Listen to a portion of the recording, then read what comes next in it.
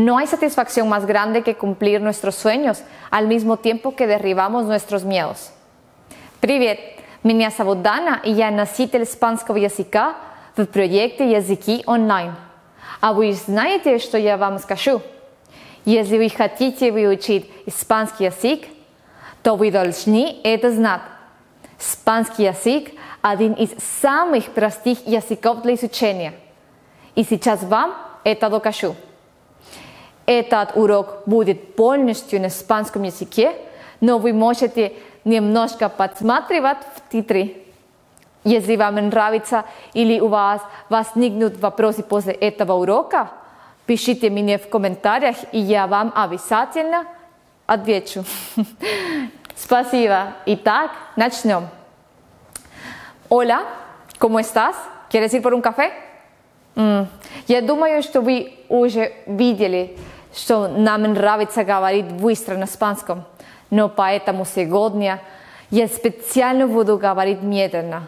Но если вы не понимаете, вы можете подсматривать в титры. Сегодня мы будем изучать, как говорить «привет» на испанском и как говорить «пока». En ruso, ustedes tienen la palabra «привет» y «здравствуйте». En español, nosotros ocupamos esta palabra. Hola, hola, hola. Mucho más corta y fácil que decir. Esta palabra la vamos a utilizar, por ejemplo, cuando nos refiramos a nuestros amigos, a personas de confianza. Sin embargo, muchas personas también deciden ocupar la oración buenos días. Buenos días. Buenos días. Como una manera más formal de saludar. Vendría siendo un poco equivalente a decir здравствуйте.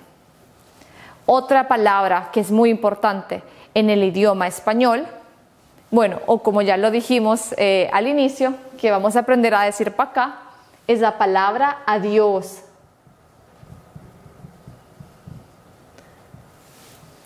Adiós significa tanto como eh, para acá y como desvidania. Es formal e informal a la vez. Pero también tenemos más series de oraciones y palabras que nos gusta utilizar. Pero vamos a regresar con buenos días. ¿Por qué? Porque buenos días en español también significa doble utra. Ahora, ¿cómo puedo decir doble bien? Bueno, muy fácil. Eso será buenas tardes. Una vez más, buenas tardes. Ahora, ¿cómo podemos decir doble noche? Espero que lo haya dicho de la manera correcta. En español decimos buenas noches. Podemos repetir nuevamente. Buenas noches.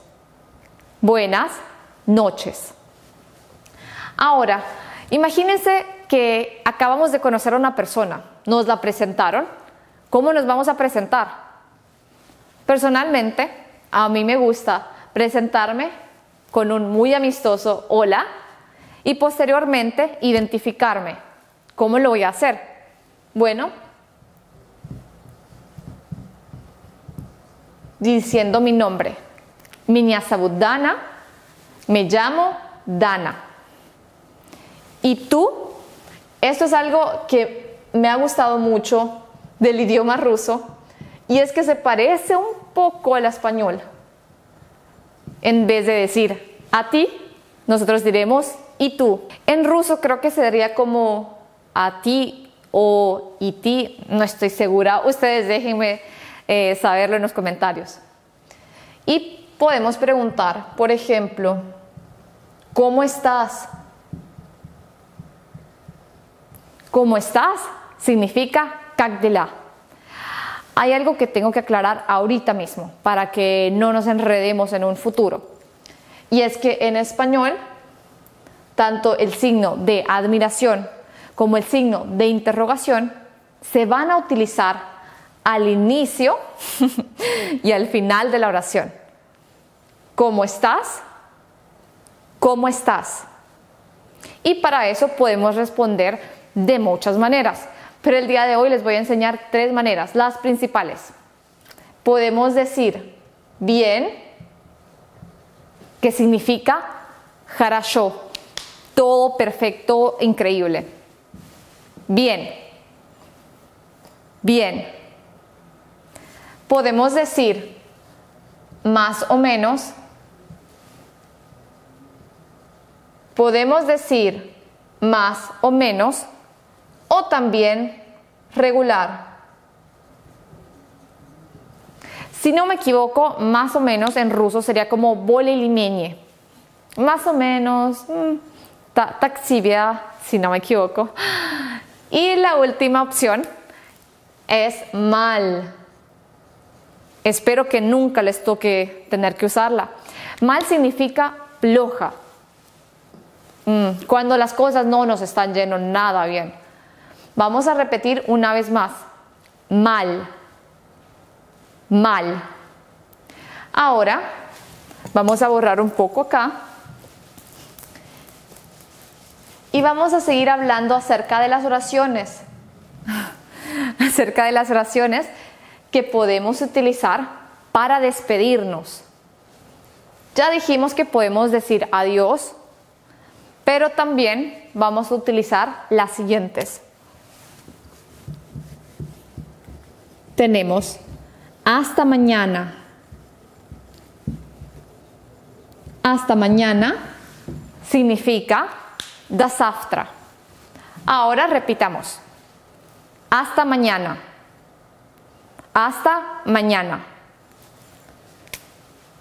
Tenemos también la oración. Hasta luego.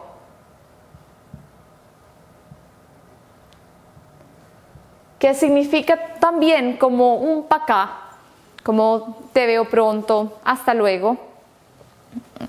Y la última palabra que vamos a estudiar el día de hoy, que considero que es muy importante, o mejor dicho, el último grupo de palabras, es el siguiente. ¿Qué significa gracias? Bueno, gracias significa spasiva. ¿Cómo puedo decir spasiva balshoi? Bueno, diremos muchas gracias. Ahora repitamos. Gracias. Gracias. Muchas gracias. Muchas gracias. ¿Cómo puedo decir Пожалуйста. Yo siempre tengo problemas con esa palabra. Eh, sé que no la pronuncio muy bien, pero en español es que es mucho más fácil. Es por favor. Así que repitamos. Por favor. Por favor. Y también, ¿cómo vamos a responder ante esto?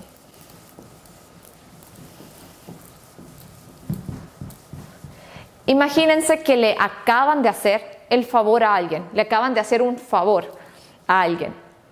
Esta persona va a decir gracias o muchas gracias.